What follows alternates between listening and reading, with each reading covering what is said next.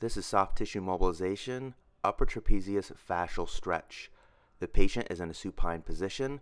Their head is flexed, side bent away, and rotated towards the side to be stretched, and a downward force is placed on the tip of the shoulder.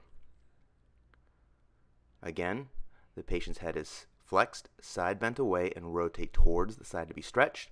Contact is placed on the top of the shoulder while the patient's head rests on the patient's thorax.